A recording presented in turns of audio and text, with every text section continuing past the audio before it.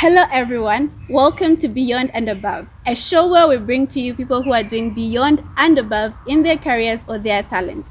Now, today we have a very exciting guest.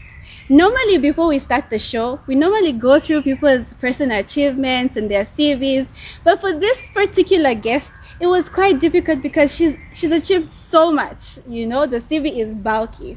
This person has been the managing director of Airtel before, managing director of EcoBank, managing director of Zambia National Tourism Board, and she's the former chairperson of the former board chairperson of Zanaco. Now, let me not uh, spill in all the beans. Let me introduce our guest. Welcome to the show. Thank you very much, Florence. Happy to be here. Thank you for having us in your home. And thank you for inviting me. Thank you for coming. All right, thank you so much. Um, so today, you know, we we are blessed by your presence because once someone watches this interview, they'll be inspired to, you know, break the glass ceiling. So we'll just start with um, the past, so that we can get to the pre- to the present moment. Um, who would you say Charity Lumpa was before university? What were her hopes and dreams and ambitions? Charity Lumpa is. I don't think I've really changed. I was a young lady, young girl actually, before university. A Fatimanian. I went to Fatima Girls Secondary School from 19, oh no, so long ago. 73 to 1978. That's when I finished what we called Form 5 then. So I am the second born child of Rachel and Gideon Lumpa and uh, first born daughter out of six. So we have one gentleman who's my older brother, then I have four siblings, my sisters. But when I look at my dad alone, I think I'm number seven out of maybe 15 children. Wow. Yeah. so I come from a very big family. And I'm a, I'm a single parent now, or before university. yeah. Too many things to talk about. So I was a, a, a young lady inspired by my mother, Rachel, the late Rachel Lumpa, who was the first uh, in fact, executive director of the Family Planning Association of Zambia, as it was known then. And then um, thereafter, I came to Fatima Girls Secondary School, where I did my Form 5, and from there I went to the University of Zambia. Hmm, interesting. So by then, during that moment, did you imagine that this is how far you would get? You would get. In fact, I imagine that I'll be much further than I am right now. Okay. All right. Interesting. Yeah, you see, um, my mom died uh, uh, a tragic death uh, when I was 11. And she was my role model, and the things that she did, I just used to admire her so much. And I said, wow, I want to be just like her when when I grow up, and maybe even better, you know. I, I like the way she dressed herself. I like the way she was like very corporate in her appearance. I enjoyed watching her carry her briefcase, and I said, hmm, the first opportunity I have, I'm Yeah. buying myself a briefcase. when did you buy a briefcase? I think I bought my briefcase just as soon as I turned 21. Awesome. Wow, you actually went to buy it. I actually did because that's the picture I have of a professional woman. Mhm. Well dressed, very composed, looking professional with her documents, everything in place. So I, I like that about her.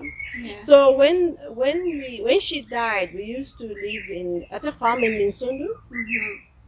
and uh, it was like a ten acre farm or five acre farm. But when she died, we had to go and live with my grandma in a place called Pamodzi in Ndola. And then it was a site and service area. It was just starting. So it didn't have many amenities. And my mom had been building a house for her mom then. And it was incomplete at the time of my mom's death. And because of the way she died and the conditions surrounding it, we were forced to move from the farm into that house. And that house had no running water, it had no electricity, it wasn't plastered. We didn't have our own bedrooms. We now had to um, use braziers from using a stove, you know, using korobo. You know what korobo is? Yes, actually, I do. to read and candles and stuff like that. So it was really, really rough. And so at a very early age, I knew both sides of the of life. Let me put it like that: the Mhm. hard side and the really good, easy side, which I can call was middle class, well-to-do. And so at that early age, I realized that I don't belong here. uh, there is no way I'm going to belong in this situation. Yeah.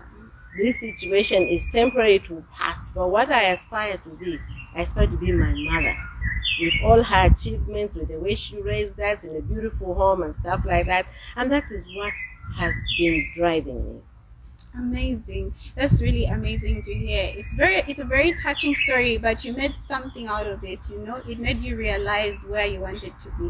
Uh, yeah, absolutely. yeah. So another question would be um what wh- uh, which university did you go to? What did you pursue there and why did you want to pursue what you pursued? So I went to the University of Zambia by default. Okay. Um, my mom used to have a friend called Ruth Harris. And when mom passed away, Ruth Harris found me a scholarship to go and study interior design. I, I, I love doing interior design even at that early age. And so she found me a scholarship, okay, to go to the United States and uh, study interior decorating at a degree level. But my guardian then, my aunt May, was just uh, she was not having it. She was saying, "Why do you want to go to America? You just want to travel. This university here, University of Zambia, is as good as any other university in the world. You are going to go there. And besides, what career would you have if you go and study interior design and interior decorating? You're going to the University of Zambia." And so there I was, uh, forced to go to the University of Zambia, totally disillusioned and I really had no interest in anything there. And so one of my guardians came and sat with me and said, Look, whether you, you, you like it or not, you're not going to America, so just find something to do. This will, will stand you in good stead in future years, and at least you'll have a degree, and thereafter, if you want, you can go to America. Yeah.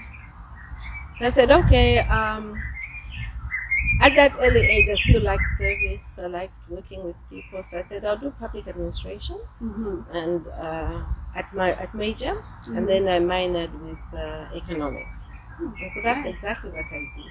Okay, wow, amazing. So even if you were made to study what you really you didn't really want, you still made like something big out of it, you know? Yeah, because I enjoy public administration. I Yeah. think it was it, it very much speaks to what my passion is today, and so I, maybe I didn't even real, realize it then, but it was something that I really enjoy. Public service, organization, management, you know, governance issues and stuff like that. So it was really good.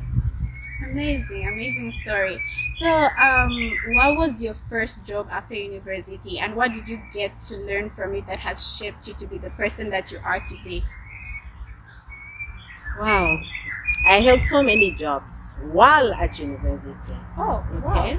So in my second year, I be, I did uh, vacation work with uh, Zambia National Commercial Bank in the waste department. That was what it was called then. Oh, I okay. think today it would be credit admin or something like that. So I did Okay. that. So every holiday I used to go to Zanaco for like a year, a year and a half or so. And this was uh, at Center Branch, which is very next to Shoprite on Cairo Road. There. Oh, okay. Yeah. And then after that, I worked with Hybrid Poultry Farm. And I was with Hybrid until I even graduated from the University of Zambia. So I used to work during holidays. A girl has got to eat. Girl You has know? to, you know, girl has needs. Yes. Okay?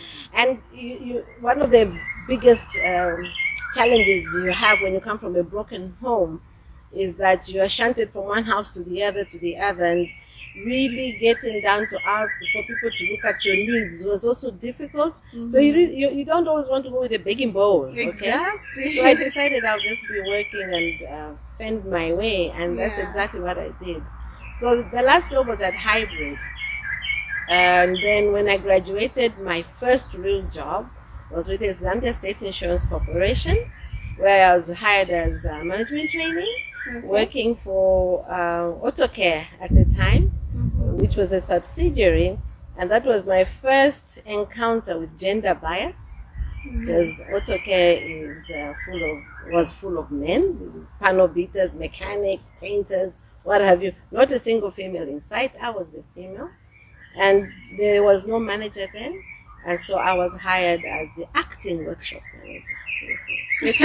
Wow. Straight Straight. into a leadership role. I'm like, Lord, what's going to happen to me? You know? So anyway, so what have these jobs? What did these jobs teach me? Very much about. Uh, learned a lot about um, collaboration, Mhm. Teamwork, and the fact that you know, to be good, Yeah. you needed your people around you. Okay, Yeah. and people who were willing to share with you, willing to teach you, provided you also willing to learn and to ask the questions. I learned the, the importance of communication, open communication, and the realization that if you don't ask, you'll never know. Okay, so those were things that I learned. And at hybrid, especially, I also learned the importance of speaking up, you know, because sometimes we just assume people know these things and they say, no, but why did you speak up? You know, would have told you what to do. So I, I, decided that I should be speaking up, I should be asking, I should be learning, I should be growing.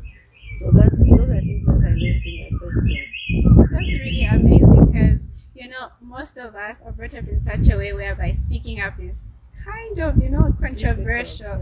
But then um, we get to learn, like after university, how important it is. And I'm glad you've brought it up. And um, I hope people out there are, you know, learning that we need to be speaking up. You know, Yeah. we, shouldn't just assume that people know what's in our minds. Exactly. Yeah, thank you so much for that. Another question would be um how has been now your career path from that first job to now where you are? You can maybe summarize that for us. Yeah, um, I've had a very interesting career and I really thank God for that. mm-hmm. because when I decided, uh, when I left AutoCare, I, I joined the public relations department at uh, ZISC and I did that for a few years. I graduated in 83 and I left the department in about 88 and I joined business development. And in 1989, I went to Citibank. Citibank came hunting, and I accepted their role. They asked me. I, So they literally came to you and said, "We want you." They, they said they wanted me. wow, they I were, want they were that. hunting. Yeah. yeah, And at that time, I was a, an assistant manager nice. in marketing. You've been a manager, manager all this while. You know, God has been gracious. You, You know. know. He realized he had to be nice to me because I was a little lost after my mom died. yeah, yeah, I see. So um, when they came and asked me to join uh, Citibank, that is, they asked me to join as an executive trainee. I said, Lord, I've been a manager, an assistant manager. Now I must go back to being an executive trainee. Yeah, So they said to me, "We'll give you, we'll confirm you and give you a promotion in two years. Okay. So you know, just don't worry about the title." Mhm. make sure you just deliver on the job. Come and get trained and do the job as best as you can. So lesson number one, eh? It's not always about the title. exactly. It's about the job. It's not about the title, guys. uh-huh. So I I thought about it a little bit more. Then they said, and your salary will be three times what you're earning now. I said, okay, where do I sign? I know. At that time, we, were, Yeah. we were still looking at money. I was a single parent as well. I'd become a single parent in 86. okay. So I said, oh, sure, let's do this. So I joined Citibank, and within two years, I was made head of credit admin. Wow. Yeah. And that's how I transitioned from state insurance to, um, Citibank. to Citibank. Yeah. Okay. And then from Citibank. Okay, so from Citibank, you know, I'm now in my memory lane. From Citibank, I went to um, where did I go? From Citibank, I went to a, a bank called Chase Trust Bank. It was a local bank by uh, Mr. Siam and his colleagues. They had some American uh, share shareholders. I was there for only six months Okay. because uh, I realized that uh, perhaps I not made the right uh, the right move. So when Barclays Bank came knocking, So I- Barclays came Yes, knocking. yes. Oh, wow. even even Chase Trust Bank, they came knocking. So when Barclays, they knocked at the same time. Okay. Barclays Bank and Chase Trust. But I went with Chase Trust thinking, okay, let me support an indigenous bank. Mm. And I saw the opportunity to rise much faster in that organization as well. And I'm sure these people coming to you, it meant that you were delivering such a good um, job where you were. yeah, and, and that's one lesson we all need to learn. The, the quality of your work will speak for you. Mm-hmm. So do the best that you can because your job will speak for you, you know. Yeah. So they would say if you need such and such a play, uh, worker, try Charity Lumpa. She's good at ABCD. Nice. So that's always important. yeah. So anyway, Chase Trust. Six months later, I jumped ship and I joined um, the Barclays Bank, and I was chief risk manager, first female to have held that role as well. Wow. And I was there up until 2000 when I, I was um, moved laterally to a different department, retail banking, and I became uh, head of retail banking, retail, head of retail performance for the southern cluster, meaning Lusaka, Mumbwa, Mongu, all the way down to Livingstone and Chipata. That was my uh, region. And I stayed there until 2002 when I became um, headhunted again by Stanbic Bank Wow. to set up the retail bank here in Zambia. So, roll back a few years when I turned 30, I sat myself down before the Lord and I said, Where are we going? What are we doing, Lord? I mean, what is this? Just changing jobs? What are we going to be doing? Yeah. He says, What do you want to do? I like that. He said, "What do you yeah, want to do?" I have conversations That's with the a Lord. whole conversation yeah, I right said, there. No, no, I sitting down. I have Yeah. a chair for me in my bedroom. Sit here, let's talk. What is Yeah. this? What's going on? So he said, so I so he says, What do you wanna do? I said, I want to be a CEO by the time I'm 40. Mhm. Says done. So what's that got to do with me? I said, Okay, but give me a few tips here. He says, Okay, work hard. Yeah, you know. Go for those jobs that will put you that will make you eligible to be considered a CEO. I said, Wow. Okay. I prayed about it. I've, I, but, but this time I've, I've entered into roles at a director level. Okay. Mm. So I said, no problem, I can do that. He says, yeah. So all the best to you. I said, thank you, Lord. Yeah. And so in 2002, I got uh, invited to apply for a job at Zambia National Tourism Board to be the CEO. Okay. And I said, hmm, this sounds good. Mhm. Yeah. Looks like a dream over here. yeah, this is gonna work, and I like, and I've got to be a CEO by the time I'm 40, and I was just knocking on 40 that time, knocking hard on the door. Yeah. Long story short, I got hired as MD Wow. for Zambia National Tourism Uh huh. just before I turned 41. So officially, really, I was 40, yeah. and I became a CEO. I took a salary cut, lost two thirds of my salary. Again, you see, it's not about money. Mm. But what was I gaining? I was gaining a CEO role. I was gaining uh, conditions of service that saw me have a car, company car, company home. Oh, and by then I'd already bought my first house because wow. I said by the time I'm 30, I should buy a house. So what am I telling you? Make goals. You know? Set goals, no matter how lofty they may be. I mean, at that age, where would I even think I would get money to buy a house and stuff like that? But I said, I'm going to work at it. It's going to work out one day. And I bought a house, a beautiful house. And the, the, the beauty of it oh, all, why it was beautiful, it was not so much that it looked good, I could have done better, but because it had a tenant. And the tenant was Zesco, so I was getting double income. so I was very Okay. pleased with myself. Yeah. Wow. So I bought a house and then so 40 I'm CEO. And being CEO, in fact, I, I, I roll back again. Let's talk about dreams, objectives, and putting them in alignment. So when I became head of retail bank and head of retail at Stanbic Bank, they asked me, um, what I was expecting. You know the usual salary discussions, and I Yes. told them these are my expectations, na, na, na, na, na, and they even beat whatever my expectations Really? were. And they asked me if you want to, but this is your car um, allocation. Go and buy yourself a car, or it's up to you. I went straight to Marinucci then. Went and bought a brand new Mercedes Benz off the showroom. And I said, girl, you were right. showroom. not not even. She didn't order it No, online. no, no, she no, went no. to the showroom. the, this is the car I want. Yeah. And I bought the car. Uh, you know, took out the plastics myself. Man, it's such a great feeling. You know. But it can't beat buying a house though. okay. So I did Taking two notes? great things by Yeah. that time. Okay, so I went and bought this car. So by the time I was going to the Zambia National Tourism Board, I was even given another car. You see, so it's it's all really fully aligned because I had a plan for my life. I had goals, and I was ready to put in the work. Okay, I'm a, I was a single mother then. I, I'd become a single mother, and the challenges that came with being a single mother were also there. But that should not deter anybody. Work at it. I'm not saying it's easy. No, I don't subscribe to that.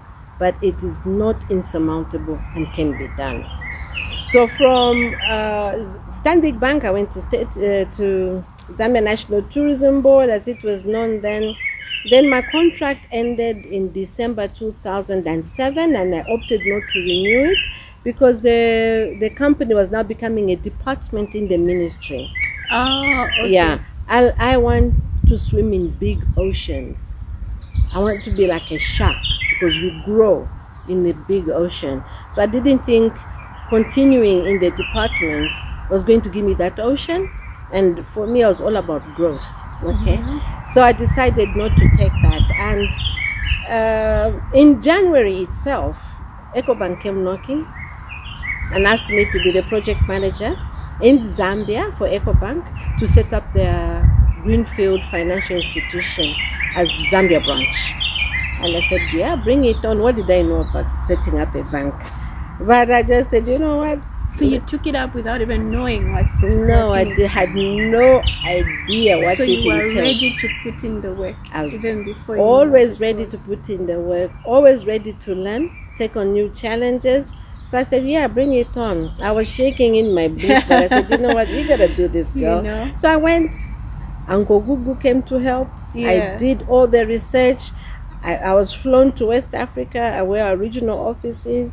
I spoke to some people and I started. I was the only member of, par- uh, of parliament, only member of staff. Yeah. Speaks about my, my recent political We'll talk about that. yes, absolutely. Yeah. So the only member of staff plus my driver.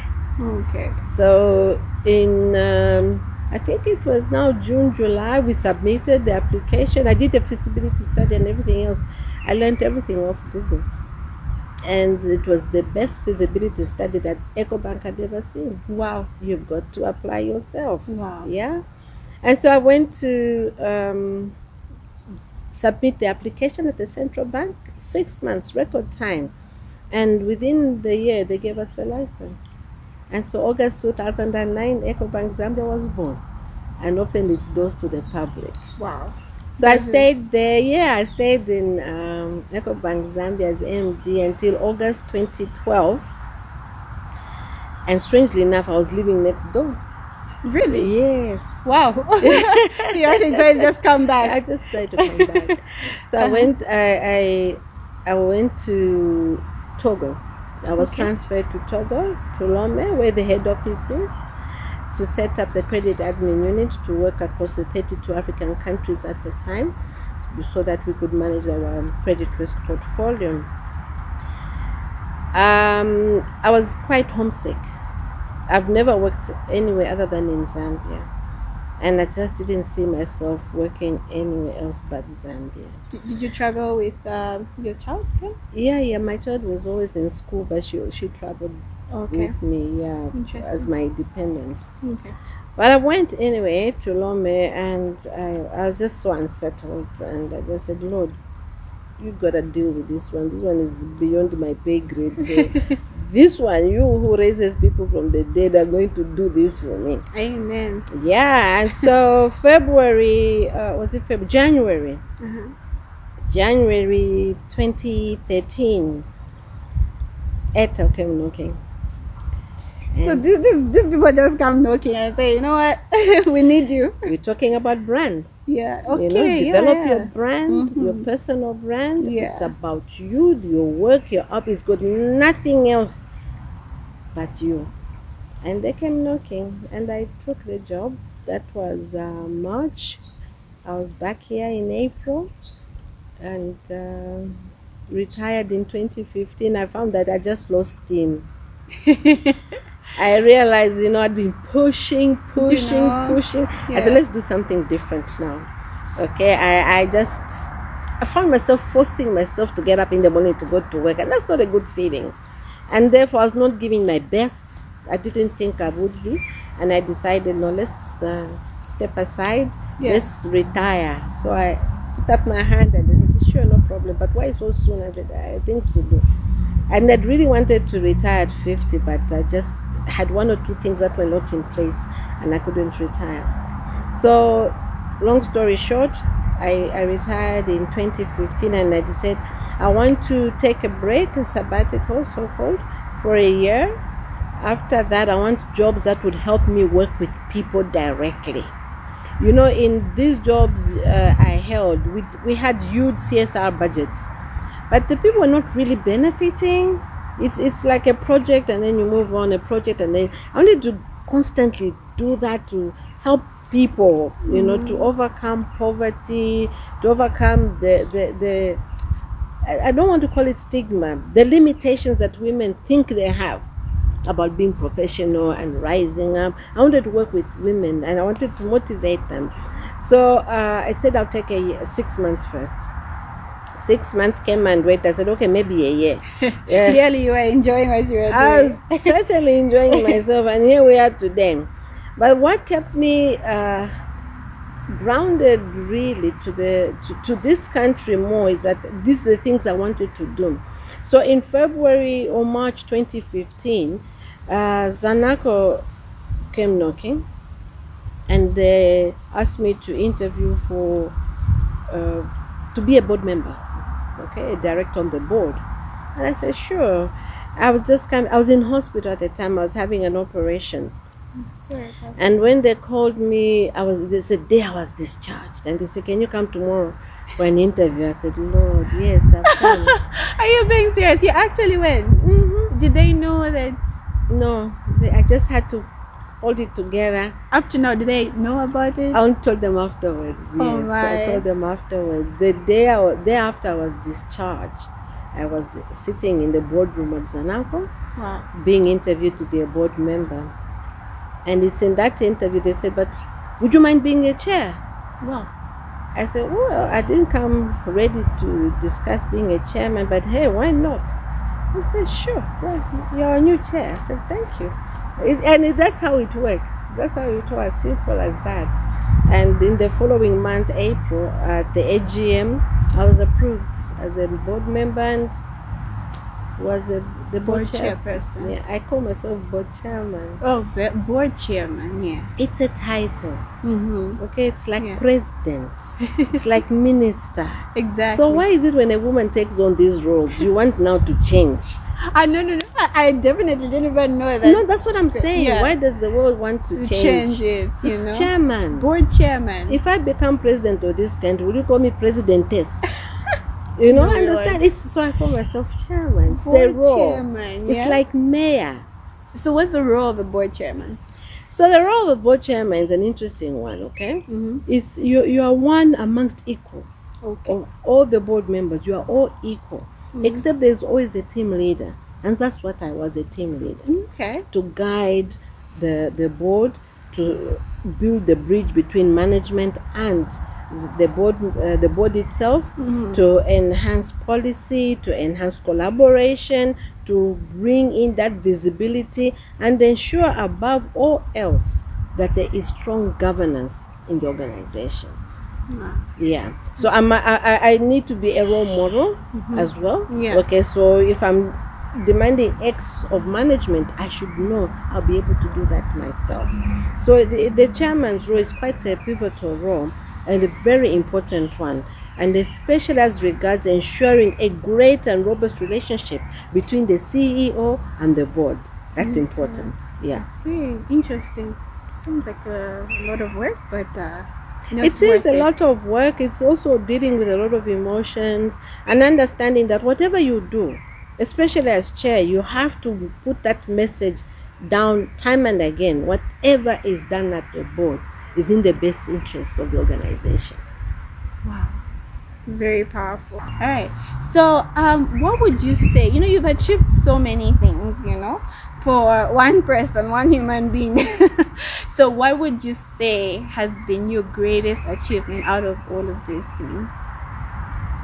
Being a great mother to my daughter. Oh, Yeah, I have a daughter, okay. and um, I had a great relationship with my mom. I remember that much, and I thought that's the thing I want to have the most with my daughter, so that I raise a strong, courageous young lady. Wow. Yeah, that's my greatest achievement. Career wise, career wise, all of my jobs have been my greatest achievement. All of them, because each one taught me something different. And I still believe that the best is still ahead of me. Haven't arrived yet. Yeah. But building EcoBank Zambia from the ground up would definitely be listed as one of my greatest achievements. So I would, don't have one. I have several. Yes, several. Yes. You, you just can't pinpoint it when you're like, uh-uh. Mm. I have one. My second greatest achievement is my, no, my first actually. EcoBank is number three. My daughter number two. Number one is my, my journey, my deep conviction as a child of God. You know, that's for me is my greatest achievement. The circumstances under which my mother died made me believe there's no God. Okay? There can't be a God who can allow me not to have a mother and to lose her in such a manner. And for I battled with that for many, many years. Until I think I was about 16, thereabout, when I just gave my life to God and said, Look, I've been resisting you all these years, but now here I am. I think for me that was my greatest achievement. It was easy to get lost in here. Yeah. You know, the mind is such a powerful thing, and um, I I can see why a lot of people despair because we go in our head, and once you are in your head, every scenario that is bad will come to you if you allow it. And I did for many years, and then I realized this is not the way. If what I want to achieve in life is XYZ, I can't continue like this. I was always angry, I was, you know, frowning, I was not happy. It's just that I, I, I found every reason to be unhappy or not to do anything. Fortunately, God gave me great brains and I excelled at school. That's why I even managed to go to the University of Zambia. And I said, I can't continue like this. I said, Lord, forgive me. Show me the way Yeah. that realization that I was on the wrong path, having the wrong attitude, being angry, sulky, always annoyed, was not doing it for me. And I said, This is not going to continue anymore. That, for me, is my biggest achievement ever. Because for far too often we find that we give in to our emotions, our thinking, and we use that as a as an excuse not to do anything. Pity parties. Yeah. You know, no me, my mother died, no me, my father this, no me, that, no this, no. I said, girl, you gotta get a hold of yourself. You've got the Lord telling you, fear not, I'm with you. I'll be with you all the time. And I'll shine my light on your path. Get working. And that's exactly what I did. Wow, that's very amazing. As Sarah Jakes says, girl, you gotta get up. You need to stop giving excuses, you know? Yeah, yeah. the greatest absolutely. achievement is actually knowing that she says her greatest her greatest achievement is knowing that you know I should stop uh, having that self pity rise above the challenge and you know go for it. My Go greatest achievement is knowing God. Yeah, her greatest achievement is knowing God. Yes. Knowing God, guys. You need to know your God and you need to create a personal relationship with Him. Just as, the, as she says, you know, she talks to Him, sits him down, and say, You know what, I'm planning this. And He's like, Go ahead. That's really amazing. You need to take note of that. Absolutely. So, an- uh, another question uh, as we come to the conclusion of the program, uh, what advice would you give to uh, your 20 year old self? Yeah. I've been thinking about that for a while. Don't despair. In this world, we shall have failures. We shall things not go the way we want them to go, but they should not define you. God is always there for you. And when you fall, get up. Don't stay down. Because when you stay down, you are totally failing. So get up. I'm not saying it's easy. Mm-hmm. I'm saying get up. And when you get up, you just find that you're even stronger because you got up. When you remain down, I believe you continue being weak. So, 20 years old, get up, my girl. Get going. Wow, that's really amazing. So it's a matter of getting up. No matter how how many times you fall down, you need to get back up. So um, I know we said we're concluding, but just two last questions. Um, what do you do in your free time? right. Last time I watched you saying that you watch EastEnders. I was so about to say. I, I, I- I still watch EastEnders. okay, I don't watch it every day. What I do is I record it. okay. and then I choose a month. Okay, Oh, when okay. it's really when I I've got no planned uh, a calendar ahead in that month, and I know that I'll be fairly free. Yeah. But then I use Sundays mostly. I don't really do it during the week.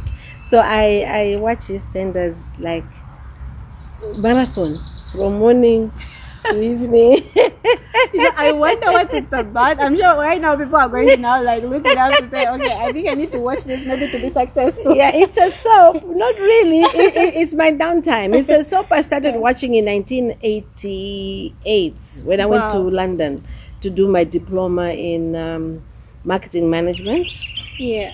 So that's what I, I, I liked enjoying eh, when I was in London because it was cold then and you spend more time inside the house. And there was this program which I liked, EastEnders and Home and Away, but Home and Away doesn't come here, so I just like EastEnders. Okay. I like to read. Mhm. I haven't been very good in the past couple of years because of the nature of what I um, I've been doing. Yeah. I like to cook. Nice. Yeah, I enjoy cooking. I also just like to be, you know, doing nothing, just sitting there. Yeah, just some quiet time. Just some downtime, some quiet time, enjoying myself. I can see the trees. Yeah, you, you thanking really like God your- for His blessings, Yeah. checking in with Him. It's it's just you, you know we've got to make time for self. We, Mm-hmm. we we are always pushing, pushing, pushing an agenda, and far too often you find that in pushing that agenda you are pleasing a lot of people but hardly yourself. So find time to come back and recalibrate Mm-hmm. Yeah. and see what else can be done out there and yeah so that's what i do for um, in my free time yeah but i'm a consultant Mhm. I'm, i don't do things widely I, I, i'm actually sort if, if they if you come and look for me i'll do it so i don't go looking for it i don't know if, you make, if, I- it, I- yeah. if it makes Makes sense because i'm just trying to enjoy my my my age group Yeah. uh, i'll be turning 60 in um, in february You don't say. You don't even look anything sexy to me. Yeah. So I want to start taking things a little bit easier. I serve on a number of boards as well, Mhm.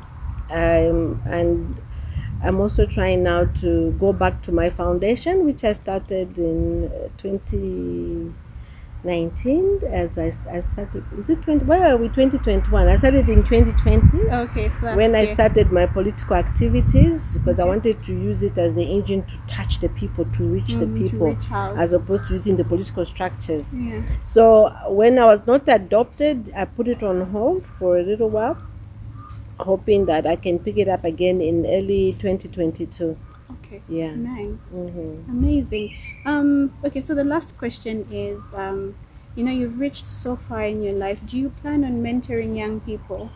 So working hand in hand with young people. No, I don't plan on mentoring young people. I actually do it. Oh, wow. and I've nice. been doing it for I don't know how long. serious. Yes. Wow. So I have a, a, a- small coaching business on the side. okay. So when people ask me to help them, Mhm. to coach them or to mentor them, we I do that with them. So how do people reach out to you if they want to be mentored by you? Well, people know how to find me. okay, so I can give you my email address. I can uh, my telephone number. No, Of course. but certainly my email address. Yeah, so I, I do coach. I don't coach for free because I actually went and got certified as a coach. I'm an executive coach. Mm-hmm. But I do know there are some young ladies, some young men who might not be able to afford my services that I do pro bono as part of my charity work. Okay. Okay. That's really amazing. Um, what last words would you have to say to? Okay, most of our audience are students, but you can generalize it to just young people. What advice would you have for them as we conclude? It's possible to achieve whatever you want, whatever you set out to do, but it's not going to happen automatically or by magic. Mm-hmm. You've got to put in the work, you've got to plan. Mm-hmm. I think I've indicated throughout our discussions that for me, nothing happened by chance. I planned everything. I didn't always get whatever I planned for, but at the end of the day, I was always left better off than if I had not if I had not planned. So always plan whatever you want to do. Challenges will be there. Don't get discouraged. Don't lose hope. And they say keep trying three times. If at first you don't succeed, try again. Try again. Try again. If it doesn't work, find another way or change what you're trying to achieve and move on. You see, the way up is not always in this upward trajectory. Mm-hmm. Sometimes you go like that, then you go up, then you sometimes you go down, then you come up again. So the trajectory is not always well known, but keep focused on that up. Even if you go like this, you're looking up because that's where you want to be. And it's hard. I won't lie, it's hard. But imagine the joy, the sweetness of your victory when you get there. When you get to this milestone, then the next. And set milestones, huh? Don't just go chimbu, no plan. Have a plan. Make sure you set milestones. By 30, I must do this. I wanted a house. By 30, I must buy a house. I bought a house. When I retired, I said I must retire in my own home. I bought a home. This is my own home Wow. from my retirement benefits. Wow. I owe nobody in rent here. No, no, no. they owe Just me wake rent. up, go to the swimming pool, whatever. Time. Exactly. so it's it's really about planning your way such that you sacrifice now so that you can come and live like I'm living today. I did a lot of sacrifices. Mm, yeah. Yeah. So that I can be able to afford my own home. Mm-hmm. Yeah. Mm. Be able to put food on the table. To be able to jump into my car and go where I want to go. If I want to travel abroad, I say at least I can afford an economy ticket and go wherever I want, I can afford a hotel. That for me is success. Mm-hmm. To be able to eat, to drink, whatever you want, and at the end of the day, to sleep at night without any worries. For me, that is success. And to know that God checking it and say, yes, you've got it, girl, do it. So it's important that we plan, we set goals, and work towards achieving them. Don't just put a goal and say, ah, kaya kwanza Zambia.